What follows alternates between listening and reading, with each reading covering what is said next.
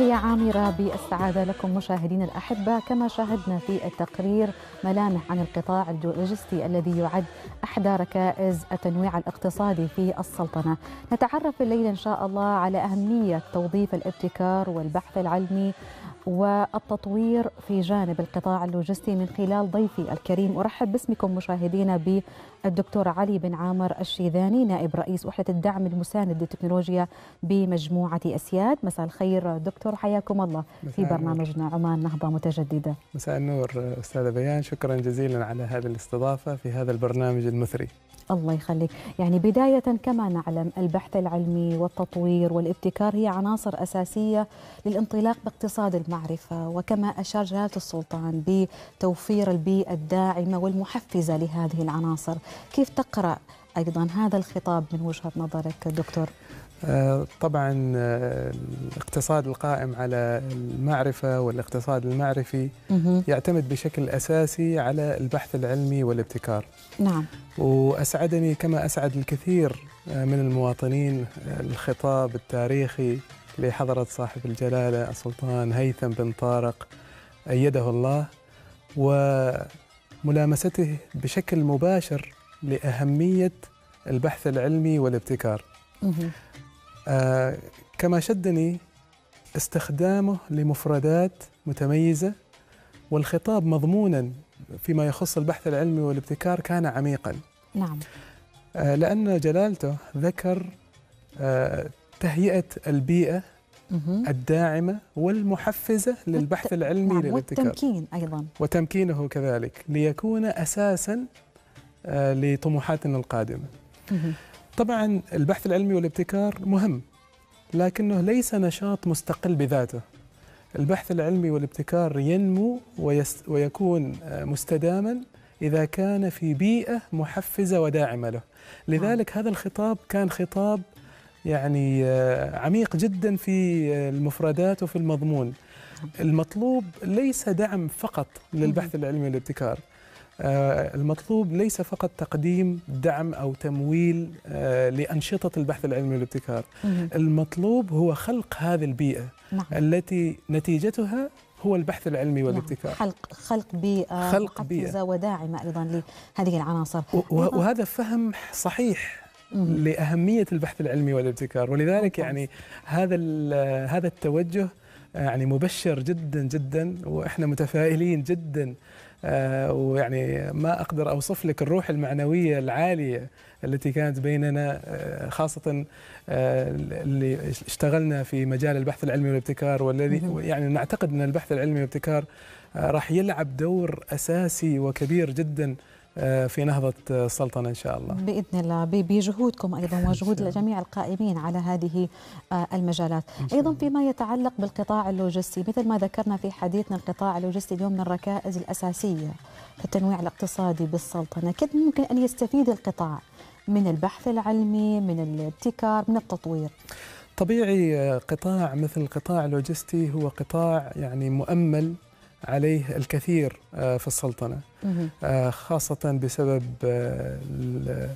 الموقع الجغرافي للسلطنة والمميزات المختلفة التي يعني تتميز بها السلطنة. استخدام التقنية والابتكار في القطاع اللوجستي يعطي السلطنة قيمة تنافسية عالية وتؤهلها أنها تنافس وتكون مركز أقليمي للوجستيات في المنطقة. نعم. فالاستثمار في البحث العلمي وفي الابتكار وفي التقنية الحديثة يعني تؤدي إلى تسريع العمليات، تؤدي إلى زيادة الإنتاجية، تؤدي إلى خفض التكاليف وتؤدي إلى ممارسات وأعمال جديدة في القطاع اللوجستي، نعم. لذلك يعني مستقبل القطاع اللوجستي بكل عناصره تعتمد اعتماد كبير على التقنية وعلى الابتكار. فهذه يعني نقطة تنافسية مهمة جدا السلطنة إن شاء الله راح تتخذها. وفي مجموعة أسياد إحنا يعني نعتبر أن التقنية والابتكار عنصر مهم جدا من عناصر قوة المجموعة إن شاء الله. نعم نعم. إلى أي مدى تم استثمار هذه العناصر في أسياد حاليا؟ طبعا الحين إحنا في مرحلة آه، تنفيذ الخطوات الأولى من الاستراتيجية آه، استراتيجية المجموعة في البحث العلمي والابتكار. وبدانا يعني ببعض التجارب آه، باستخدام بعض التقنيات الحديثة. ونقيس لأي مدى هذه التقنيات راح تكون مفيدة في تسريع الأعمال وفي خفض التكاليف وغيرها فيعني إحنا بدينا بعض التجارب البسيطة في هذا في هذا الجانب وإن شاء الله يعني الخطط والطموحات كبيرة جدا إن شاء الله نعم. لكن يعني هناك آه، تصميم على إنه الابتكار والتقنية تكون يعني محور أساسي آه، من محاور تنافسية السلطنة في القطاع اللوجستي إن شاء الله. بإذن الله، يعني دكتور أنت ذكرت في حديثك قبل قليل عن عمق الخطاب صحيح. إنه توفير بيئة داعمة ومحفزة راح تنطلق منها مشاريع مبادرات إلى آخره. صحيح. ما يحتاج وما يفعل هذه البيئة هي الإنسان هو الإنسان هو الكادر العماني البشري الشباب بمعنى أصح. اليوم كيف تجد الشباب العماني والثورة الصناعية الرابعة؟ والله الشباب العماني اليوم أعتقد أنه هيئت له يعني كل أسباب آه، النجاح في هذا المجال. اليوم آه، العالم صار قرية صغيرة. آه، تعلم أي شيء صار متاح. الوصول إلى الإنترنت والوصول لأي معلومة تودها صار متاح. سبل الدعم سواء كان دعم مادي سواء كان دعم بأشكال أخرى هناك مؤسسات مختلفة موجودة في في السلطنة. تقدم الدعم للشباب. لتطوير أفكارهم لمساعدتهم على الابتكار فأعتقد أن الشباب يعني محظوظ نعم. آه، بتوفر كل هذه العناصر اللي تساعد على الابتكار وفوق كل ذلك إرادة سياسية قوية من أعلى قمة الهرم آه، تحفز هذا الجانب وتطلب من الشباب الاعتناء أو الاهتمام بالمؤسسات الصغيرة آه، بالتقدم التقني بالذكاء الاصطناعي فأعتقد إنه يعني البيئة مهيئة ومناسبة ومناسبة نعم. للشباب نعم. لخوض غمار هذه هذه التحديات هذا القرن يعني نعم محظوظ أيضا ب يعني تأسيس مركز الثورة الصناعية الرابعة من خلال أيضا مجموعة أسياد بالشراكة مع وزارة التقنية والإتصالات صحيح. نقرب المشاهد أيضا من هذا المركز ماذا يقدم ماذا سيضيف أيضا للشباب في هذا الجانب؟ طبعا وزارة التقنية والاتصالات آه، لديها عدة مراكز آه، اسمها مراكز ساس. من ضمنها أو آخر مركز تم الإعلان عنه هو مركز ساس للثورة الصناعية الرابعة. مركز ساس للثورة الصناعية الرابعة يعني يحتوي على الأجهزة الأجهزة التي تستخدم في تقنيات الثورة الصناعية الرابعة وأيضا تقدم آه، تأهيل وورش عمل آه، للشباب في تقنيات الثورة الصناعية الرابعة. نحن كمجموعة أسياد نؤمن بالعمل التشاركي والتعاوني مع الجهات المختلفة. آه، بما أنه هذا المركز مركز وطني إحنا نحتاج أن هذا المركز أيضا يركز على القطاع اللوجستي. لذلك التعاون بين مجموعة أسياد وهذا المركز. جميل. نمد المركز باحتياجات القطاع اللوجستي ونستفيد من المركز ل يعني تجربة التقنيات الحديثة لتأهيل الشباب في القطاع اللوجستي مساعدة الشباب آه، في ابتكار آه، يعني تقنيات جديدة في القطاع اللوجستي. فهي فائدة مشتركة بين آه، مجموعة أسياد ووزارة التقنية والاتصالات. نعم. وطبعا هذا وهذا واحد من أهم عوامل نجاح الابتكار وهو التعاون بين القطاع آه، الخاص والعام. والقطاع العام والقطاع الأكاديمي. آه، يعني البيئة المحفزة للابتكار هي بيئة تتفاعل فيها هذه القطاعات الثلاثة وتنتج آه، في النهاية منتجات يعني يحتاج لها السوق. يعني تخرج من إطار الأبحاث النظرية إلى الأبحاث العملية التطبيقية آه، التي تنتج خدمات و و و ومنتجات يحتاج لها السوق. نعم. وأنا عندي مثال أحب أطرحه يعني تفضل تفضل آه، دكتور. يصب في هذا في هذا الجانب تماما. آه، طبعا معروف إنه طلبة طلبة الجامعة يؤدوا مشاريع تخرج قبل تخرجهم من الجامعة. فمجموعة من الطلبة أدوا مشروع تخرج في كلية الهندسة.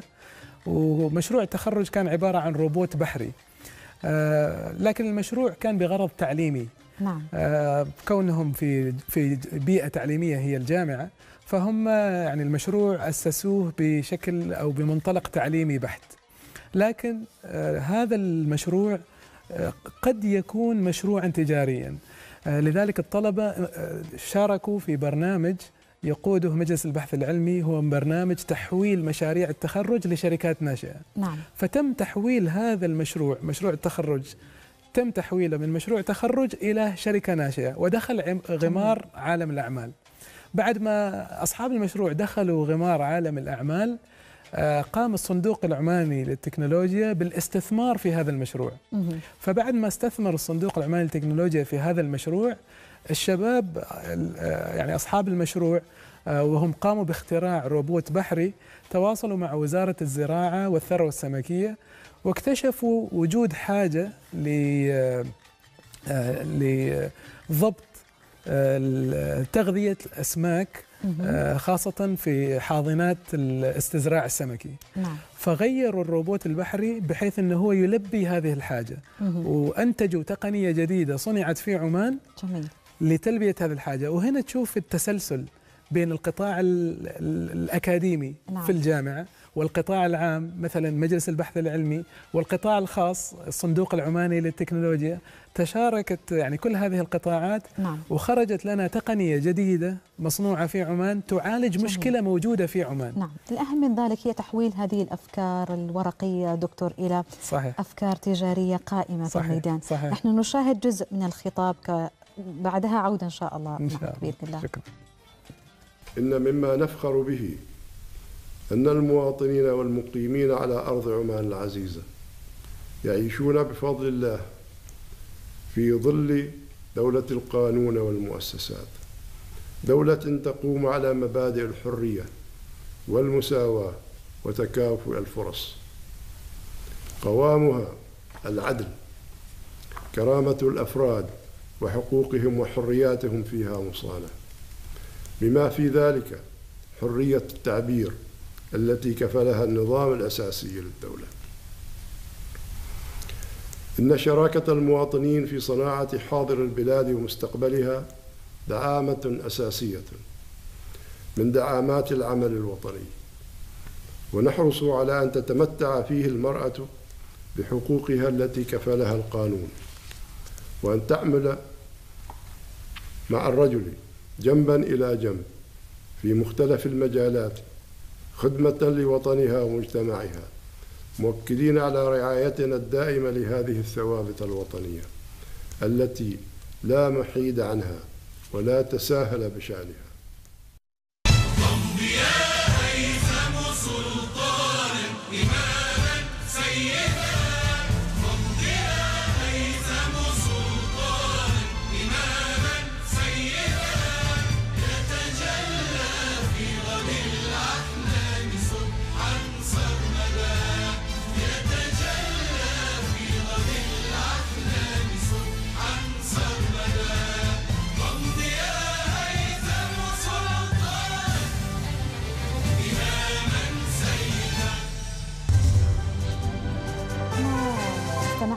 الخطاب دكتور أنه جلالة السلطان أكد على نقاط مختلفة من أهمها أن عمان دولة مؤسسات وقانون ويأكد التشارك أيضا. مثل ما ذكرت أنه لابد من تكاملية عمل في مختلف القطاعات كقطاع الابتكار أيضا والثورة الصناعية الرابعة. نتحدث هنا عن أهم التحديات تواجه اليوم هذا القطاع. أنا أعتقد أنه البنية التشريعية صحيح. هي من أهم التحديات تواجهتكم خلال الفترة الماضية. صحيح. يعني الواحد دائما يستذكر هذا الخطاب. هو خطاب تاريخي بكل المقاييس. نعم. آه والتركيز فيه على إيجاد بنية داعمة ومحفزة للبحث العلمي والابتكار يعني تستحق التوقف عندها كثيرا. البنية الداعمة أو أو بيئة الابتكار آه، تشمل مكونات كثيرة. من ضمنها التعليم من ضمنها الوعي من ضمنها آه، صناديق الابتكار آه، من ضمنها الجانب التشريعي آه، للابتكار مثل قوانين حفظ الملكية الفكرية وغيرها. الحمد لله المؤسسات في عمان تنضج نعم. بهذا الاتجاه وهناك مؤسسات تعنى بكل جانب من هذه الجوانب. أعتقد اللي نحتاج نركز عليه في الفترة القادمة هو تكامل هذه المؤسسات. آه، بحيث أن كل مؤسسة تؤدي دورها في هذه يعني هذه المنظومة المتكاملة، هذه منظومة آه، راح تنجح فقط لما كل مؤسسة تركز على دورها في هذه المنظومة وتتكامل مع المؤسسات الأخرى. آه وأتوقع انه إحنا ماشيين في هذا الطريق، يعني هناك عدة مبادرات آه في هذا الجانب وأتوقع أنه يعني راح تكون في مبادرات أكثر. الثورة الصناعية الرابعة طبعا أحد آه آثارها آه، أن الثورة الصناعية الرابعة لها آثار اقتصادية اجتماعية آه، سياسية متعددة. نعم. صحيح هي عبارة عن تقنيات مثل الذكاء الاصطناعي وإنترنت الأشياء والطائرات بدون طيار. صحيح هذه هي تقنياتها لكن آثارها آثارها تتعدى هذه التقنيات. آثارها يعني تغيير في في الوضع الاجتماعي، تغيير في الوضع السياسي، تغيير في الوضع آه، التجاري، آه، والاقتصادي. اليوم يعني تلاحظ إنه آه، دول تتسابق لاستحواذ لاستحواذ هذه المعرفة. وهذا الاستحواذ تعطي هذه الدول قوة ومكانة في العالم. وبالتالي يعني الثورة الصناعية الرابعة لأنها تلامس جهات مختلفة ومجالات مختلفة اقتصادية واجتماعية وسياسية. لتفعيلها يتطلب شراكات مختلفة نعم. شراكات بين جهات مختلفة اجتماعية مم. سياسية اقتصادية اللي راح تتأثر بالثورة الصناعية الرابعة نعم واستثمار الشباب أيضا أكيد الشباب اللي هم هم وقود وقود هذه الأمة وقود صحيح. هذه المجالات بلا صحيح. شك صحيح. يعني ذكرت في حديثك أنه فعلا اليوم السوق العماني حافل بعديد من الأفكار المختلفة وأنت اشتغلت دكتور صحيح. في مبادرات مختلفة وأيضا صحيح. أطلقت شخصيا هذه صحيح المبادرات. صحيح. نتحدث عن الشباب وأهمية تأهيل الشباب في عجالة. والله يعني الشباب هم وقود يعني هذه الأمة. والنسبة الأكبر من من عدد السكان يعني في عمان هم من الشباب. لذلك هم أمل آه، هذا يعني هذا البلد. آه، والاعتماد عليهم يعني اعتماد كبير جدا لذلك يعني يعني نتطلع أن الشباب يتحمل هذه المسؤولية نعم. هي مسؤولية كبيرة ملقاة على عاتقه ونتأمل أنهم يعني يتحملوا آه، و نعم. آه، ويعني يستمروا في التعلم لأنه أتوقع السلاح الوحيد الفعال في المستقبل هو التعلم نعم. آه، التعلم المستمر آه، مهما يعني أتت من ثورات هذه الثورات نستطيع التكيف والتعايش معها فقط إذا استطعنا أن نستمر في التعلم بشكل بلا مستمر. شك بلا شك. يبقى السلاح اللي نواجه صحيح. في كل التحديات. أنا أشكرك على وجودك وهذا الحديث الماتع عن القطاع اللوجستي ومواكبته أيضا للثورة الصناعية الرابعة. دكتور علي بن عامر الشيذاني نائب رئيس وحدة الدعم المساند للتكنولوجيا بمجموعة أسياد. شكرا جزيلا. شكرا شكرا. نتواصل معكم مشاهدينا بعد هذا الفاصل إن شاء الله. إلى محطات قادمة في برنامجكم عمان نهضة متجددة.